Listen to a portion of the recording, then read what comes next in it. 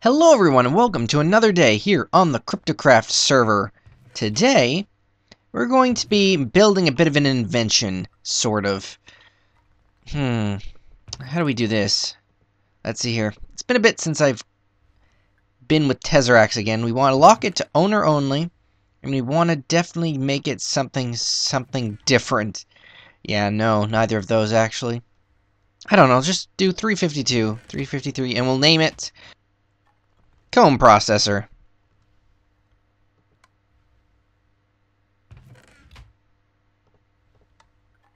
There. It's now set to that frequency. Okay, good. Yes, what we're going to be doing today is using a bit of a machine that I made off screen, which I'm going to show you. But first, the thing we're going to use it with is the Ignis Queen. This thing creates fiery combs. I've dealt with those a little bit before. It's the kind of comb that you need to kind of uh, it makes a propolis that you then have to put back through the centrifuge. For that, I could either make another golem, or just simply hook this machine up into an existing setup that I use rather infrequently, but here it is. It's already set up to accept things. Right now it's doing static combs. Basically, the, uh, the products go in a loop. It sends everything I don't need into a void pipe, things that I need to centrifuge again go in there, and they end up up here. Those fiery combs I want to get going straight into this system. So, the easiest way to do that would be to either... Well, what's on the other side of this centrifuge? Because I don't exactly need all these machines here, especially not this one. Alright. I just want to make sure that I don't accidentally do something silly and pump it into the squeezer, for example. Well, the easiest way for that to not happen would be if the squeezer was already totally filled. Then it wouldn't be able to put any products into the squeezer, and then there wouldn't be an issue. And I think that might be the easiest solution right here. Where is the chest containing the honey drops? There they are. Yep. I think this is a bit of a, a of a bit of a hack solution. Just making sure that the Tesseract cannot pump into anything adjacent to it whatsoever, simply due to an overflow of items and everything around it. But I really don't use this thing that much anyway. Yeah, no matter what I do, this next Tesseract is going to have to go right here. Alright, so the next step in the line of processing would be to make sure that this one is also set to that frequency. So we lock it down to owner only, and then we tell it, yes, you are now being comb processed. Uh, we want it to only be send only. No, receive only, I think. Still nothing coming through, of course, because I haven't hooked it up yet. Bit of trial and error never hurt anyone. I always say that's the best way to learn in life because when I screw up the first time, it's not my fault. That's to be expected. Send only. Yes, the other one's receive only. Now get out of the way, little golem. I know that you have jobs to do, but I also have very, very interesting things that I need to have accomplished here. Now, this one should be items in inventory. Ooh, no output links. Interesting. I didn't realize that this uh, Energy pulse. Yeah, that's fine. So now it'll just pulse forever, waiting for a fiery comb. To test that out, I'll put the one fiery comb I have. No, I need this to, to tell the other emerald pipes what to do. No, no, I don't. No, I don't. Okay. We'll chuck the fiery comb in there. And if it worked, this pipe will suck it into the Tesseract. And now we can check in the hopper if indeed that worked the first time. And it did. Okay. So, this Tesseract is going to shove it right into the centrifuge. It's going to brrrp, like that and output fire shards. Now, I'm actually going to need a few more Tesseracts now that I think about this for everything, but let's do it all one step at a time. Alright, so the next step is there needs to be a Tesseract right here. And furthermore, I'm to need an emerald pipe right here. Now, I don't want those two to connect. That will screw everything up. Indubitably. So, to get that to not connect there, I think all I need to do is grab one of these facades and put it in between the pipes. That should cause them to not connect anymore, I hope. In the meantime, I'll just break this. Put the pipe down. Good. Add a facade on it. Good. And then finally... Oh no, it goes through the facade! Hmm. It's a good way to get pipes to not connect. Probably just put them other places. I could have it going off across the ceiling, but that might look ugly. Right? I don't want to look ugly in my base. Hmm. Let's think about this problem for a minute. Everything is getting a little bit crunched down in here, isn't it? Would it be the worst thing in the world if I had the Tesseract that I want to use there? Hmm. Suppose not, but it would be cleaner if it was in the wall, you know. Hmm. Interesting that I can't... I suppose... Hmm. I thought facades made pipes not connect with each other. I guess that's not the case, and that's why I had to do a loop like that in the first place. Okay. Hmm. So how would we do this? I am not technically using any of those machines in the back anymore. I could simply remove the pipe. Well, I suppose I am using some of them. And they are aesthetically pleasing. Alright then. Can't exactly pull the pipe. I wonder if... I wonder...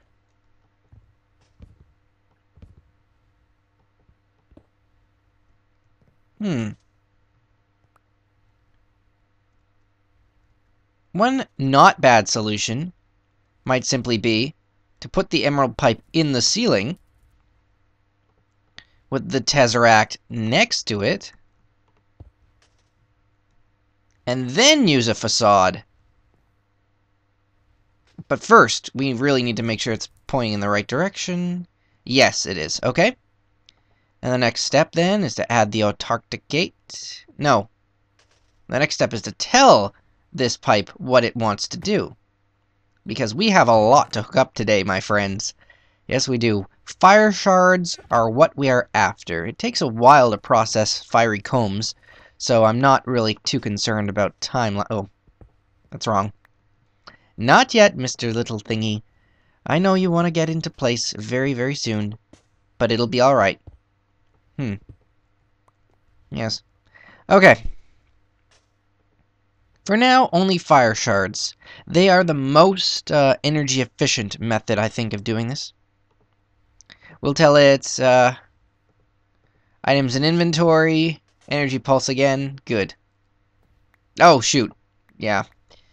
That's what I should have expected happening. There is no exit to this pipe just yet. In fact, there's a lot of fire shards in there, so maybe I should think about a different way of doing this. Although once there is, you know, not that many fire shards, this will work out. Okay.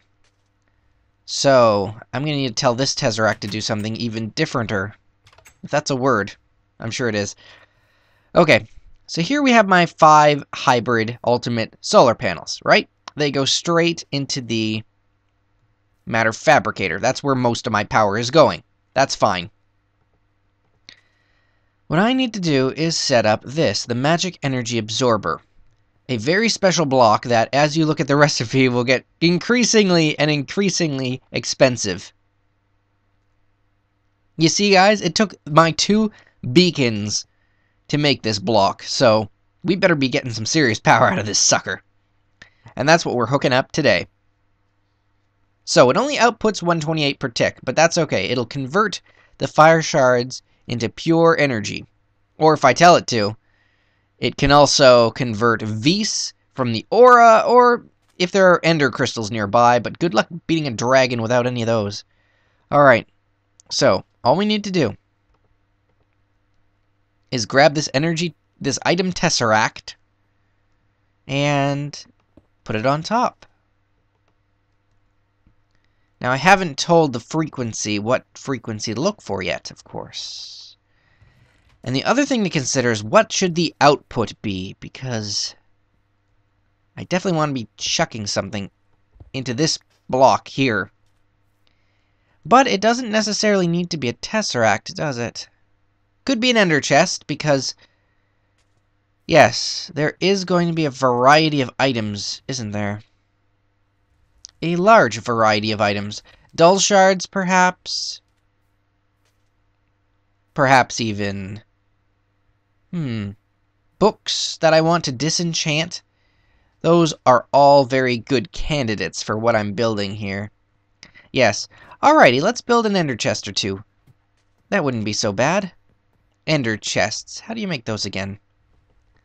Let's have a quick little scoop up in our examination.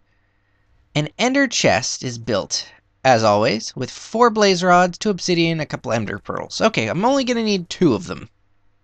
Quite obviously. Which is great, because that's what I have right there. Now, that means I'm going to need 8 blaze rods, but that's, again, a very simple problem to fix. One, two, three, four, five, six, seven, eight. I'm very, very careful with this drill. I've managed to blow up my entire uh, barrel more times than I care to admit. Alright, so the next step is uh, 2 obsidian, which would be 4 obsidian when you consider that that way. Alright, and finally, what? What's the last piece? Oh, right, a couple pieces of wool. We should have some wool around here somewhere. White'll be fine. Before I hook it up, uh, it'll probably attach to something I don't want to attach to. So we're going to be very careful with that. Alright, You're probably thinking, Fwhip, why are you going to all the trouble to build something like this? Well, honestly, by now, fun! If it's not fun, don't do it. Has anyone ever mentioned that to you? It's a very, very good rule to have. And I definitely stand by it. That's probably one reason why I don't play on HC Server that much anymore. It's just not as fun to have a bunch of people stalk me all day trying to get in videos now that I've become a little bit more known. Not that I have an ego problem, it just seems to have been something that happened over time. Alright, so, yes, I didn't link this to anything yet, did I? Lock it in place. We'll name it, I don't know, 355. We'll call it, what do we call it? Uh, energy drain. There. Oh, and we also have to tell it send only. Yes. I know that I could probably only do send and receive, because that way there would be no danger because they're only sucking in one direction, or pulling, or whatever, but I'd rather be, you know, risk-proof. This one, of course, needs to be locked and set to energy drain as well, and then sent to receive only. There, so anything all the fire shards will get sucked into this thing. And what happens to fire shards in there? Have a look. Nothing. Really? Nothing? What about if it was one at a time? Hmm. Am I doing this backwards? Hmm. Hmm. Well, that's not very nice. Okay, it seems that I've mixed up the the items. I thought the magic energy, you know, absorber or converter, I thought they were just simply interchangeable. Or upgraded versions of themselves. I hate the rain. One moment. Okay, so it turns out that the magic energy converter is what I was looking for, not its upgraded form for this silly fire shard setup. Oh, good god. Alright, um, what am I looking for right now? Alright.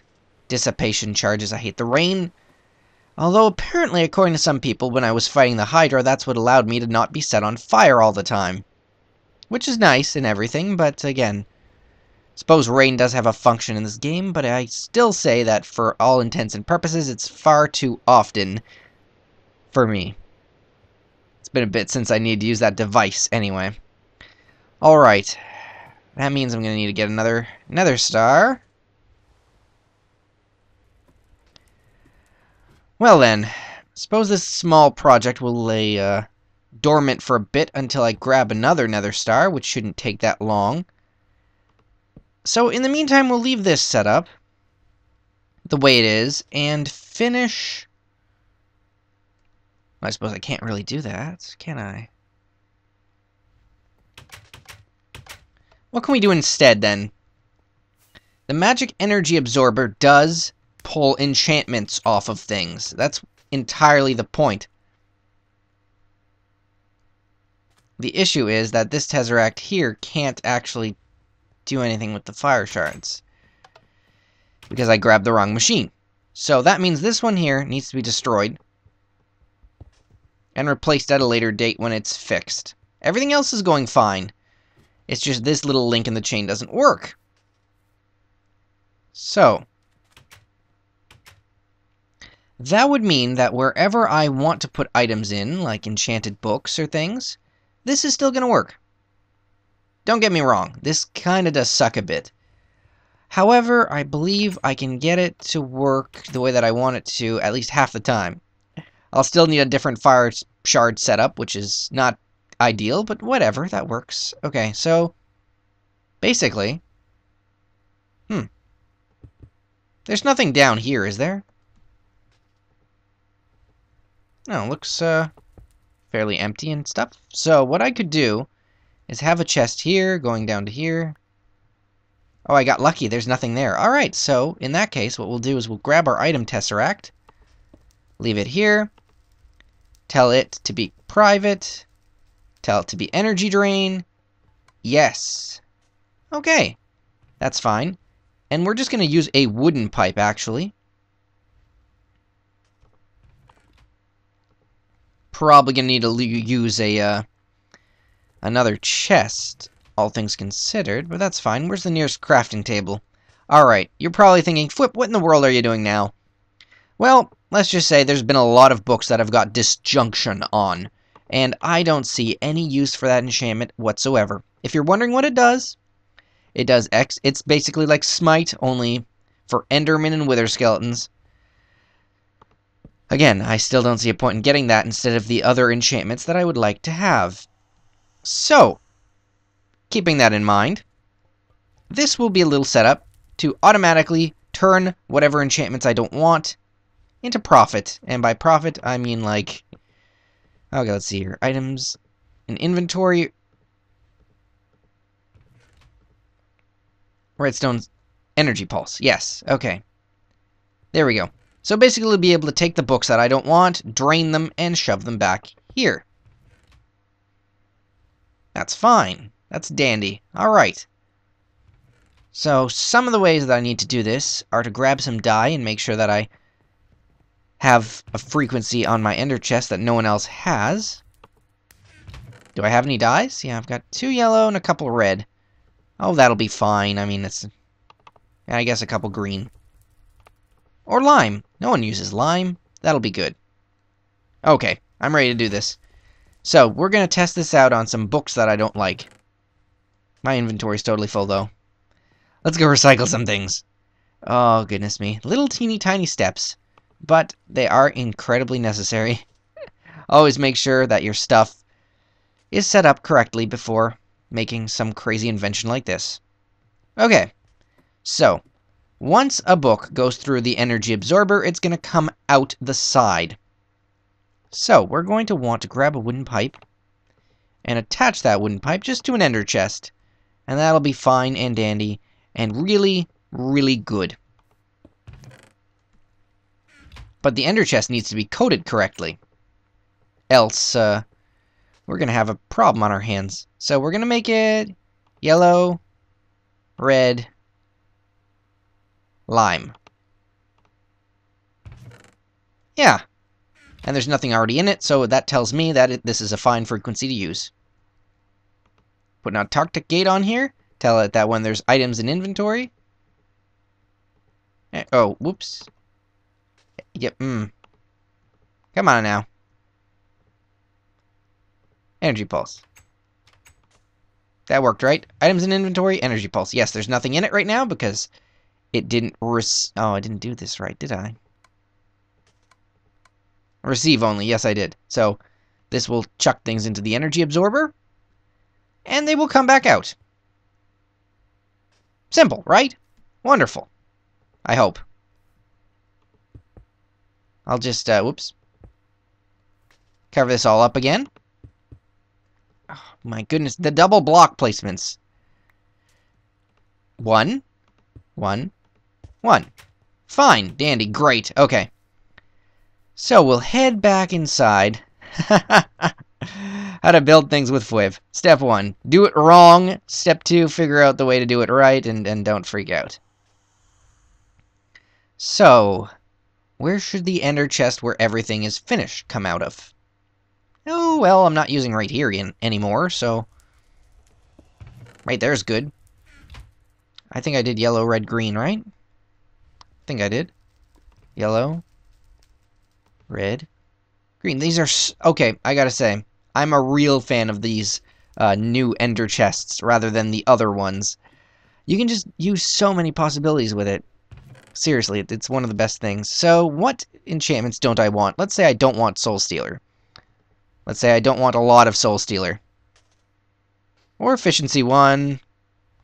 Or... Mm, there's a lot of ones here that are kind of useless, aren't there? For example, you can't have Frugal and Charging on the same wand. Therefore, that's kind of a useless enchantment. Uh, let's even say two Sharpness 3s are useless because I have a Sharpness 4 book somewhere. Alright, so let's say I didn't want any of these.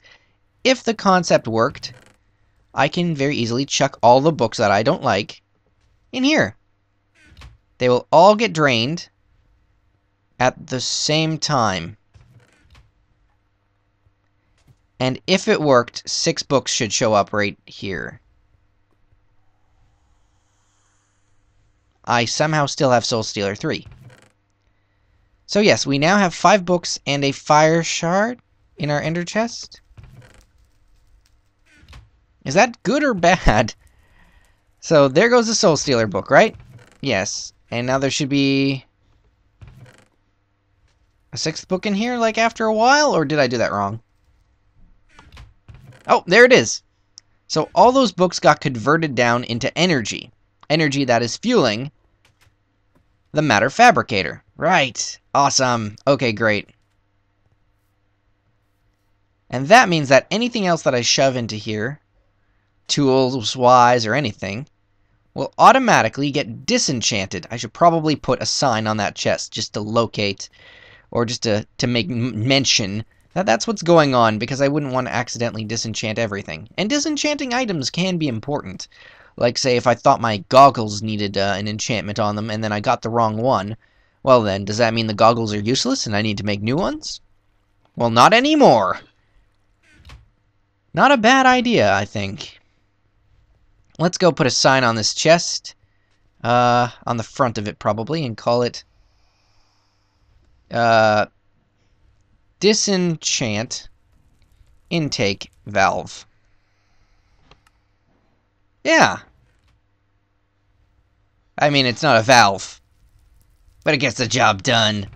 Alright. So just proof of concept here. If I did happen to, like, say, put fire shards in the chest, right? They'd go in, they'd come back out unscathed because the energy absorber does not function the same way as the energy converter, right? Oh, very true. That's quite sad. Quite sad indeed. I mean, this works, but I was hoping for more. Alright, so, say for example I wanted to get the reading enchantment, which comes with Bibliocraft and allows you to, like, read books on your shelves. Wow, that dissipation charge didn't last long enough, did it? Curses you, weather. Is it nighttime yet so I can sleep? I'm not... Nobody's really a fan of rain in Minecraft, I don't think. Honestly, there, there was this argument I had with some people on, um, on the very first server I ever went on, Protocol. And they basically said, when it... There were, there were two servers, okay? There was PvP, player versus player, and PvE, player versus environment. And they would always say that uh, rain should be on the PvE server because rain is a part of the environment. And sure, it sucks and it causes lag for people, but it's part of the environment and thusly it's something that we should have. And my argument was this isn't actual rain. This is Minecraft. This is game causing lag. Sharpness 1 is not something I need. So, vroop. And gone it goes. Awesome! Alright, now I'm to need to go get another star, build an energy converter, and build a same setup for these fire shards so I can have a little energy production going on. So I will be right back, everybody. Well, let's just say pigs, cows, and other animals that might be in the near area. This is probably going to be one of the worst days of your life. Simply because I'm not even going to use any, uh, any enchantments. Well, I mean, I'm not going to use any potions. We're to see how good I am. Yep, that's what I thought. Let's go. So far, so good, I think. And now we're going to default into stab mode, because stabbing is always the best method against the Wither. I need a star, and you have one. And how good am I to kill you? How about very good? Seems to be getting a little bit of lag here, though. I think I can manage, though. Come on. He's got like one hit left. Let's all be honest here. Alright, so that worked out, didn't it? I think it did. Yes, it did. Okay, great. Oh, the things it takes to build an energy converter. I'll be right back again, everybody. Alright, so to finish off this thingamajig, I'm going to need two more tesseracts, turn them into item tesseracts so that uh, the chain works. Probably need to build some more ender chests, don't I? I need to think about that for a minute. Do I actually need like another ender chest type setup. Maybe I only need one, because here's the magic energy converter, and it only outputs 24 EU per tick. But it holds a lot, and it also does a lot. So let's first of all get these tesseracts set up. I think I've basically memorized their uh, formula right now. Uh oh. In reverse, apparently. Lovely. That's okay, though. All you need is a couple pneumatic servos, which are placed in the bottom. Grab your unattuned tesseracts, grab some tin. We're making some item ones, so we're going to need four silver ingots, but not a problem. In my nice little finished off thingy chest, we've got plenty of resources. Now, if it's 24 EU per tick, and these fire shards, how much energy do they generate, you think? Probably a lot. That means we don't need to be filling it with, like, energy all the time. There we go, two Tesseracts. But where do we want to put this thing? Hmm. That's a very, very good question. I could hook it up into the second area. Like the second side. Because everything's always got more than one side, of course. I could hook it up right here. That seems like a bad idea. The thing to consider is where is the output going, because fire shards, when they go through here, turn into dull shards. Right? That's the main purpose of this this thing. This is going to be like a generator, right? Where, where do we want the, the power this thing generates to go? And then, of course... Okay, how is my power system going, actually? Let's, let's have a look. I should have... Oh, it's right there on the shelf. No, not you. You. You, you reader. Yes. Whoops. Still a hole in the floor. We'll get to that. Okay. So how much power is honestly being generated in some of these areas of my base? That's a very, very good question to have. Uh, the best way to think about this, I think, is to like just go to where the most things are and examine them. So right here, it's getting 277 EU per tick on this end. How about here? Oh, that's not actually...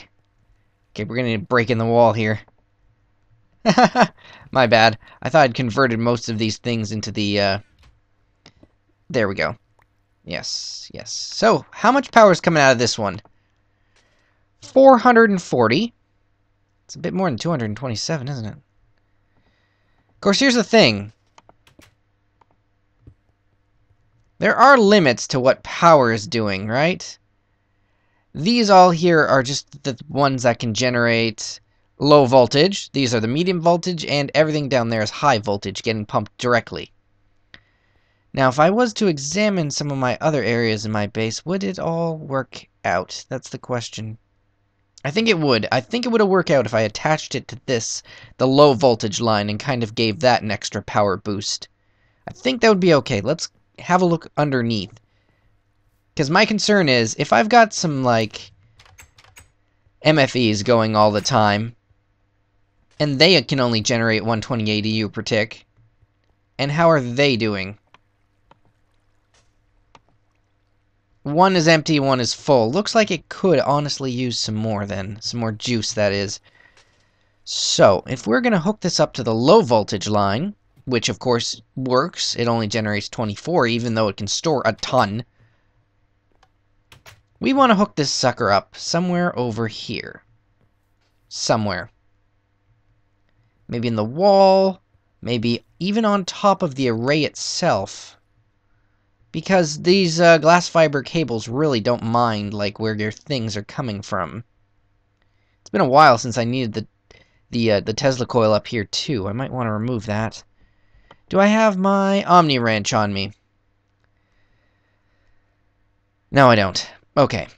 So, here's what we're going to do. I don't need the Omni wrench. We're just going to put this magic energy converter down. Right, and it looks like any kind of generator.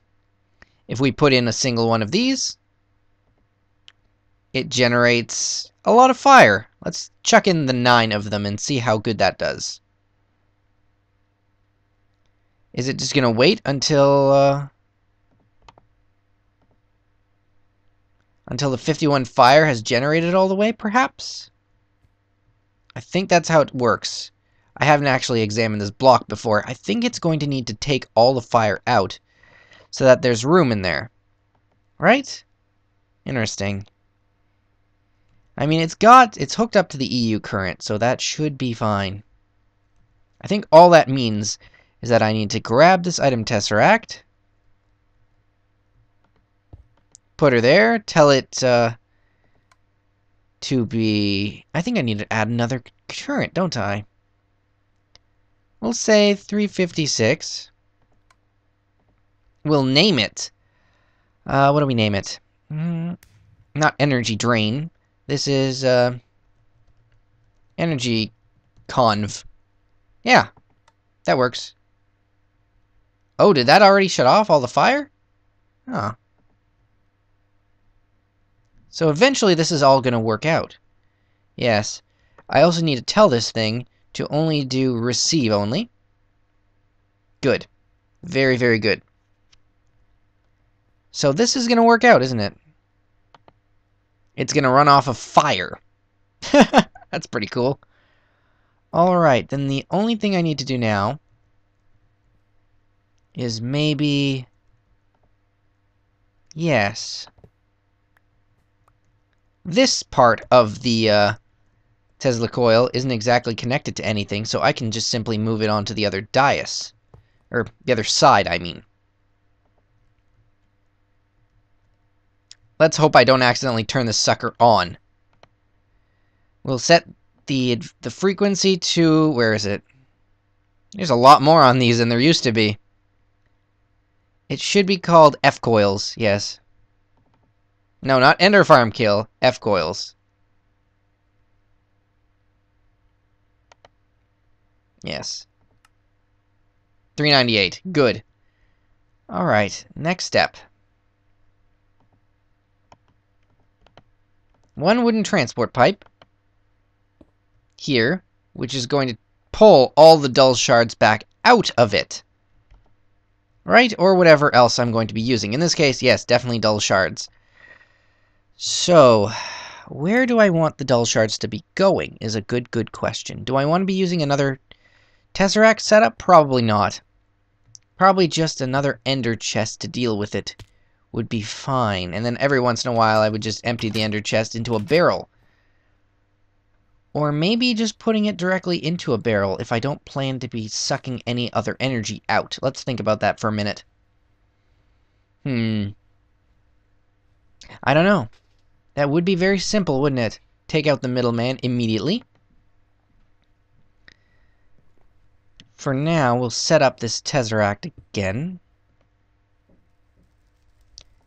Owner only and energy conv. Yes, good. Send only. Good.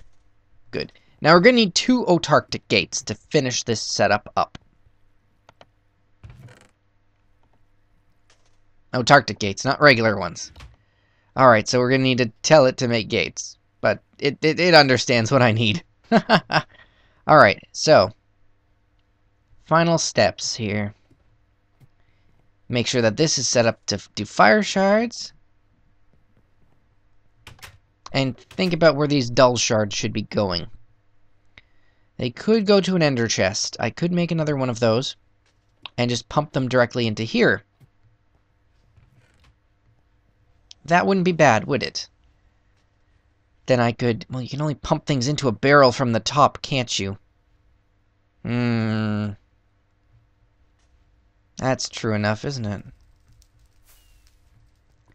I'm guessing that the uh, the fire comb thing hasn't had much success yet, has it?